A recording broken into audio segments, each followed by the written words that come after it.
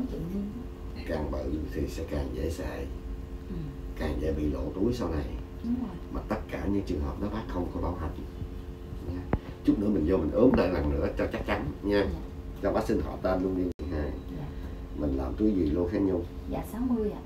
Rồi. có dự định đi đường gì chưa? À, em có dự định đi đường mắt ừ. tại vì tính là sẽ có xanh nữa Ừ. mà cũng không muốn làm to. Ừ. nhưng mà tư vấn là bên này treo mà treo nhẹ? Treo bằng quần chứ không phải treo mỏ neo. À, nếu mà treo thì bắt buộc phải đi đường hoàng rồi không có còn đi đường nách được. Ừ. rồi mình sẽ đặt túi đường đó luôn.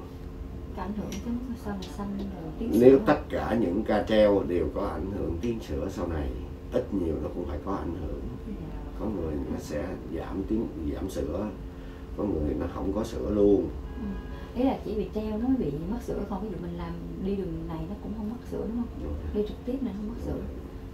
Dạ. Mà những ngực sệ thì bắt buộc phải treo. Mà mình không treo thì đặt cái túi ở trên. Rồi cái phần mô mô mô ngực của mình nó sẽ nó sẽ chạy xuống dưới. Nha. Rồi bây giờ vô trong mặt khám lại cái. Tất cả những ngực treo thì đặt túi càng nhỏ càng tốt